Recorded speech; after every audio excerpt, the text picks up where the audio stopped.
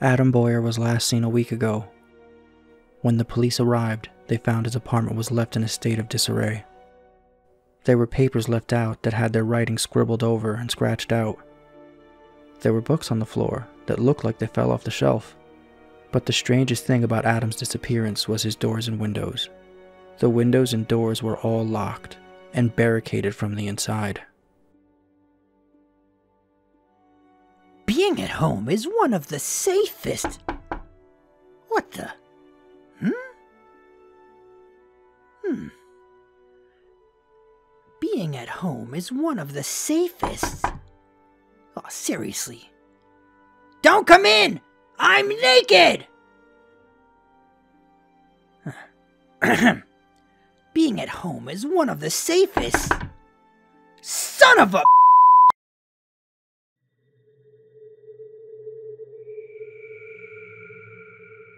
It started when I was six years old. I was in school. It was the middle of a reading lesson, and I needed to pee. Badly. At that age, a few classmates still wet themselves, and I always got paranoid about embarrassing myself in public like that. I stuck my hand up and told Miss Zebby that I needed to use the bathroom. She gave me the key to the handicapped access bathroom. It was the closest to my classroom. It was the middle of fifth period, and the corridors were empty. I was short, scrawny back then. I sometimes had trouble with doors, especially unlocking them.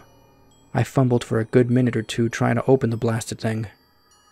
Anyway, as I sat on my porcelain throne, there came a knocking at the door. Someone's in here, I called, disgruntled at this disturbance. There came a pause. Then the knocking resumed. It was faster now, more determined. Wait a minute! The knocking slowed, and a voice replied, Let me in. I need to come inside. The speaker's tone was thin and reedy. An adult I didn't recognize. I may have been six, but I also had a fairly good understanding of bathroom etiquette, mainly that you didn't let more than one person into an area only slightly larger than a cupboard. Go away! The knocking intensified again, until it was a frantic drumbeat, just a few feet from me and out of sight. I heard the voice shouting something, growing more and more desperate. Let me in! Just open the door, please! I was terrified by that point. The hammering and yelling was so loud, and yet nobody came to investigate it. Eventually, my teacher came to find me, angry because I had been gone for so long. When I refused to open the door to let her in, she got the spare key from the main office and then took me to the principal to have my parents called. I was suspended for the rest of the week. I never told anyone what happened. I was just glad it was over. At least, I thought it was over. My next encounter with this phenomenon happened a month later. We were having a family barbecue for my seventh birthday. It was a beautiful sunny day. My dad had everything ready to go, but the coal refused to light. He asked me to go and get some fire starters from the shed at the side of the house. It was pretty cramped inside. I wouldn't fit all the way in, so I just opened the door, stood on tiptoes, and reached the shelf holding the fire starters. Then I shut the door behind me. As I turned away, a frantic knocking hit the other side of the door. Open up! I need to come through! This voice was not the one that I'd heard the month before. It was deeper, more brooding and angry. I said nothing and hurried away. I had no idea what was happening, but it frightened me. As I walked away, there came a final thump, like a fist being slammed against the wood. You little bastard! I'll rip out your goddamn teeth! Open this door! I ran back to my party and spent the rest of the day glancing over my shoulder. As you might have guessed by now, there were a lot of these voices. I counted at least 30. Every month or so, I used to get them, pleading to be let through the doors. Almost always, it would be immediately after I shut a door behind me, as though these strange entities had been following me. I never told anyone. But to be honest, I kinda just got used to it. It always made me jump, and some of the voices would make me feel uneasy. But I knew that I was safe, so long as I did not open the door. I even got used to some of the voices, to the extent that I even named them. There was one which always used to appear at my front door at home.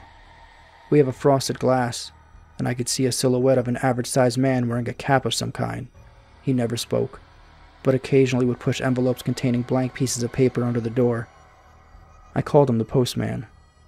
He was one of the more unsettling ones. If I tried to speak to him, he would look up sharply, then begin knocking.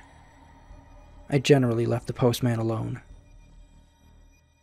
Twenty years later, and I've retained as much normality as possible. I have plenty of friends, and even have an on again, off again girlfriend. Not bad for a guy who wakes up in the middle of the night hearing voices on the other side of doors. Yeah, my buddies think I'm strange and kooky, but they put up with it. They're all great. I will miss them. You see, things have started to get strange. Well, stranger than usual, I suppose. Stranger than I'm used to. Three weeks ago, I woke up sweating and crying, though I don't know why. My dream had been, from what I can remember, fairly normal. When a huge shadow had abruptly fallen over everything. Literally, the second I opened my eyes, there came a knocking at my bedroom door. Not just a normal knocking, though. This was truly frantic. Who goes there? I yelled. Please help us, it replied. I was surprised. It was the sadistic, angry voice that I remember from my father's shed on my seventh birthday. But it seemed genuine, sincere. There was a pained tone to it, as though the speaker were wounded. I actually found myself pulling back the sheets to get up, but I hesitated. I had never before been tempted to open the door.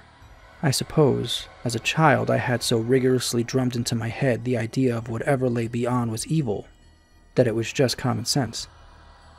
To be quite honest, I came very close to letting that thing into my room that night. Things got worse. Just two days later, I was in my local corner shop.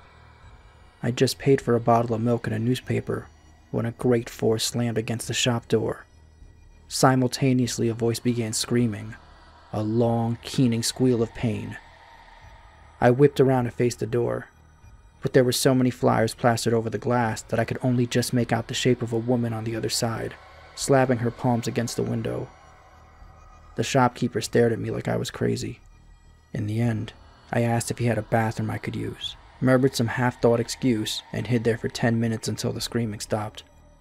There were four more incidents between then and now a mixture of screams and tearful begging. The postman stopped by yesterday, too. He knocked politely before sliding his usual papers under the door. A total of ten plain brown envelopes. The postman waited for a few minutes, knocking occasionally, and then left me alone. Each letter contained a sheet of paper, but somebody had taken a black pen to the pages, scribbling and shading them with such vigor that there were large tears around the center, and the edges were frayed. I shoved them back into their envelopes and tried to put it from my mind. Later on, my front door started shaking violently. It wasn't a scream, or a howl, or a roar that I heard. It was just crying. Dozens and dozens of voices quietly crying. Another blow struck my door. Plaster flaked from the walls, and books fell from the shelf. Still no pleas or bargaining, just crying. I jumped from my chair. I could hear the wood of the door starting to give under the pressure. My phone began to ring, and I could hear the sharp tapping of the glass of my window behind the curtains. I tried answering the phone, but it was more voices crying. But not just crying, more like bawling in terror. I hung up, but it kept ringing, so I took the battery out. I shoved most of my furniture against the door and window. It has been three hours since this latest attempt at entry began. The battering and crying haven't let up. I'm fairly sure that my door won't hold much longer. As for my mediocre barricade, it would be easily pushed aside by anything that could take down a door. What do they want? Do they even want to hurt me? They seemed fearless, even malicious before. What could have driven them to this? Maybe I should open the door. Maybe I should let them in.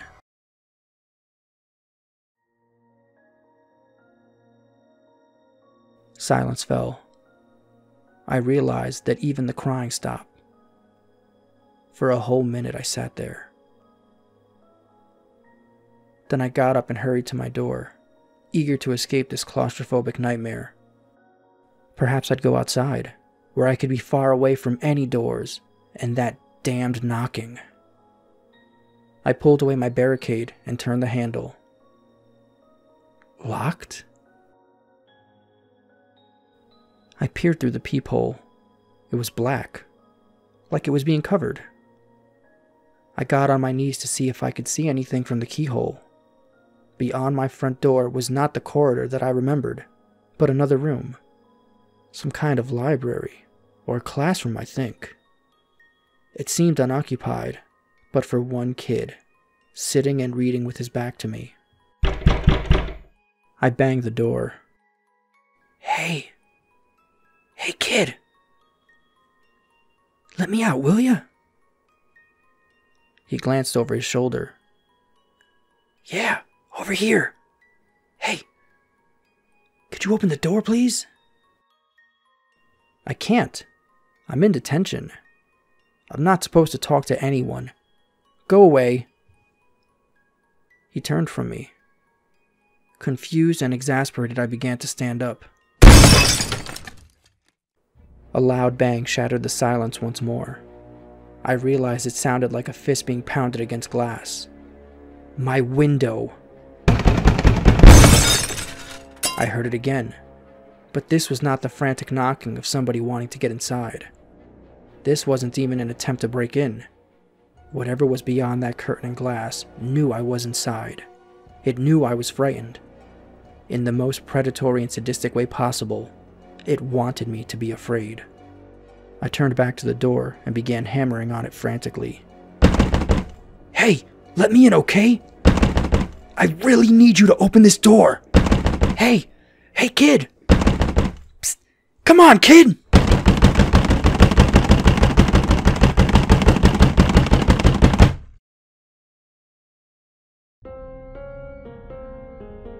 Oh boy, Adam is having a bad day. He ended up running to the kitchen drawer to grab a knife, and the knob just came right off. He then went to change his shirt, and a button came off. After that, he pulled on the door so hard that the handle just came off. Now he's really scared because he has to urinate. Thanks to YouTube, that joke was brought to you in 1080p.